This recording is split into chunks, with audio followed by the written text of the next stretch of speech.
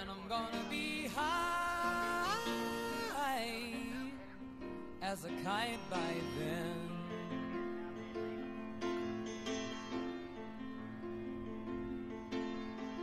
I miss the earth so much. I miss my wife. It's lonely out in space. On such a time. gonna.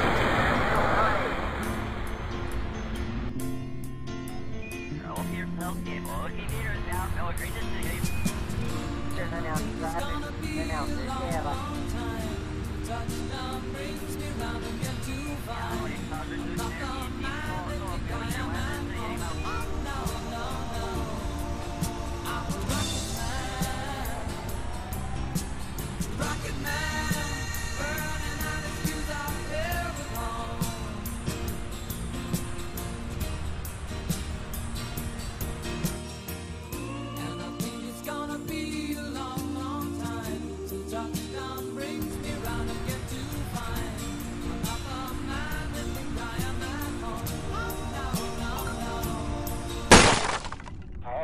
Oh no,